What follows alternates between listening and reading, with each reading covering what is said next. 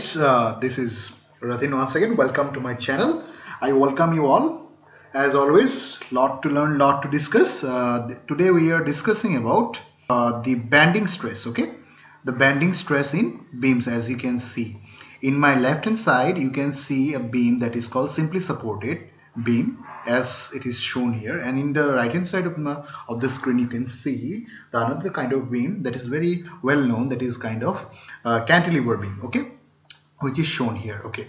So if we try to understand what do you mean by means before uh, going into the back the nature of bending stresses in simply supported beam and in cantilever beam we we first have to know what do you mean by pure bending and what do you mean by uh, bending stress. Then will come what kind of bending stress and how, what will be the nature of the bending stress in simply supported beam and in cantilever beam? Okay so if a member uh, coming to the pure bending uh, if a member uh, that is your beam is subjected to equal and opposite couples okay? Equal and opposite couples okay? Acting in the same longitudinal plane okay? Say uh, if I draw the beam here let me draw in some new area. See if this is your beam suppose okay this is kind of a beam there should be an equal and opposite couple okay? Like this one. It is applying here it is applying here. As you can see one is clockwise another is on anti-clockwise okay so if there is a uh, if the member is subjected to equal and opposite couple acting on the same longitudinal plane this is our this is our longitudinal plane means the plane that is along the length. The plane along the length is called longitudinal plane plane right? As you can see two moments are acting on the same plane which are equal m and m but opposite in direction.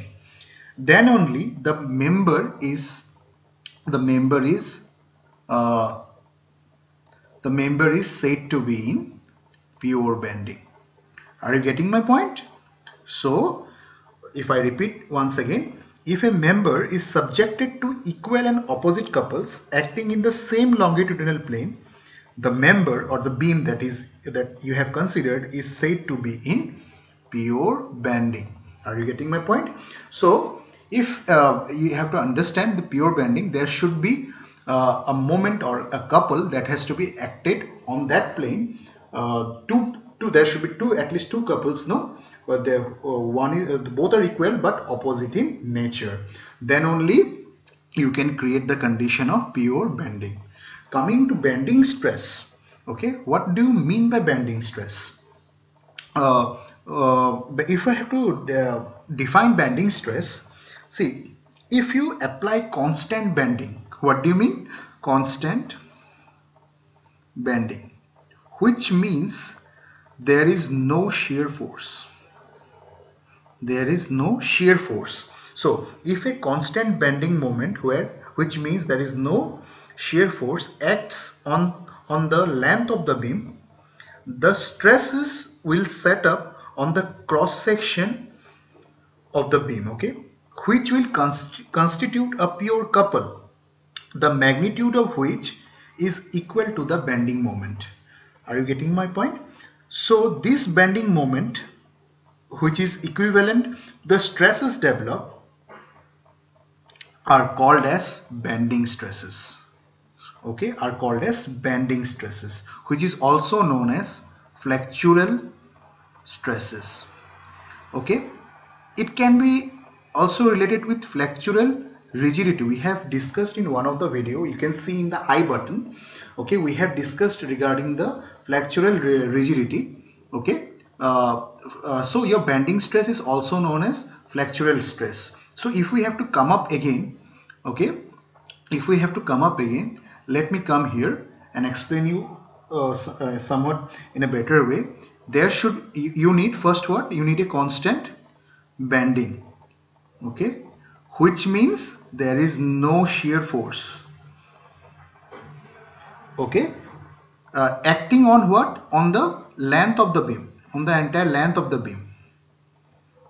It can also be in certain part of the length of the beam but it can also be entire length of the beam for which what will happen?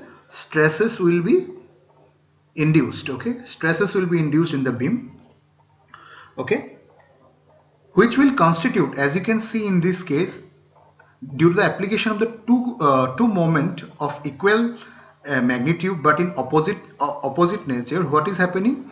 Couples are generated. This couple that is being generated which will try to bend the beam in this way.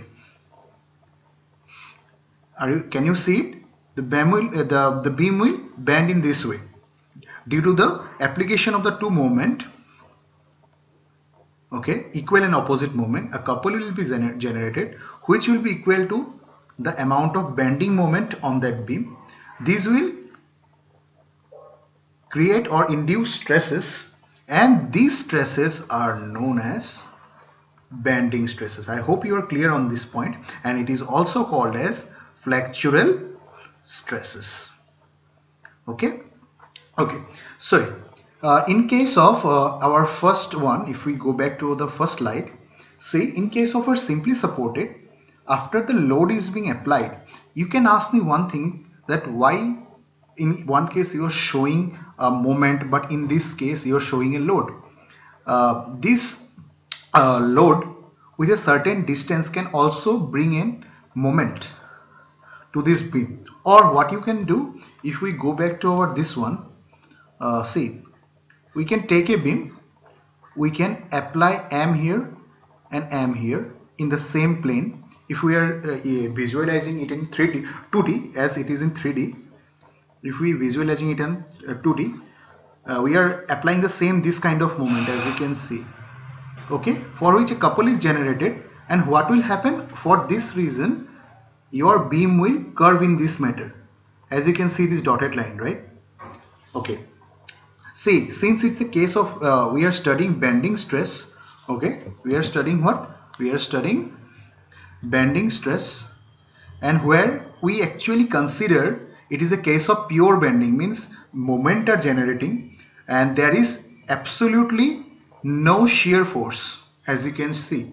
Absolutely no shear force for which the beam uh, will not you know, be like this one if we have to explain one thing that if there is a load and it is causing a moment all right we understand. But what if this load shares this uh, beam? Means one part in this way and one part in this way. This is what we have to understand that uh, uh, due to the application of the moment we are not considering the shear force. As you can see there is only pure bending means there is constant bending and there is no absolutely no shear force. Hence this will not happen and the beam will go like this as you can see in here. But as you see you can uh, see a dotted line another dotted line go around the middle portion of the curved beam. Okay? Due to the application of the moment of the load this this uh, um, dotted line is known as is shown by what? NA which is neutral axis. Okay? So coming back to our cantilever okay cantilever as you can see here also after applying a point load uh, the beam is getting bent and here also we have shown here with NA though the both look different after the bend uh, that's why the bending stresses in both the beams the nature is different. So what do you mean by neutral axis? Okay going back to our another slide. See um, if this is our beam okay there will be a portion. If it is suppose uh, y this will be the location I am telling you about. The location of the axis will be y by 2 okay what I am showing I am showing the position of the neutral axis which will be the geometrical axis if we consider this as a rectangular body. Okay the, the neutral, neutral axis will go by this exactly by the y by 2 length of the entire depth. If the depth is y the neutral axis will go by y by 2 what is happening?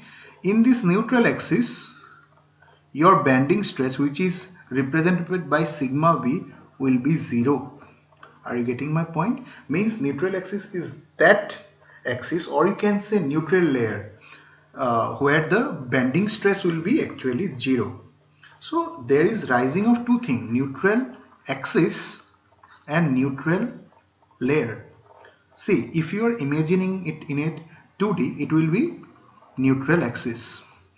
Okay if you are imagining it in, a, uh, in 3d what will happen? You will see a surface entire surface passing through that is y by 2 so in that case we will call it as a neutral layer and in this case we will call it as a neutral axis. So neutral layer or neutral axis are that part of the beam where the sigma after uh, where the bending stress remain uh, neutral. Means there is no bending stress. The bending stress value of uh, bending stress is zero. Okay? As you can see in this case.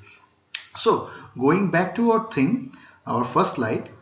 As you can see due to which the the layer that is the extreme layer at the bottom will face what? Will face tension. And the extreme layer at the uh, top will face compression. Means that the top layer the compression will be maximum and at the bottom layer tension will be maximum. So in case of simply supported beam the the nature of bending stress will be compressive stress at the top and tension at the bottom. And also the neutral axis will remain with the value uh, bending stress value equal to 0 but coming to our cantilever as you can see the top layer goes into tension. The top layer goes into tension. And the bottom layer goes into compression. So as you can see the nature of bending stress is both different in simply supported and also in cantilever. In, can, in simply supported compression is above and tension is below. And in this case the tension is at the top of the layer extreme layer and the bottom extreme layer is facing compression. I hope you have got the concept of what do you mean by pure bending and what do you mean by bending stress and what do you mean by bending stresses in simply supported? And what do you mean by the bending stresses in cantilever beam and also what do you mean by the neutral axis or neutral layer? So i thank you one, uh, all of you once again for liking sharing and subscribing my channel and my videos. Please continue do so because it motivates me in a very nice way. Um, so thank you once again. Keep visiting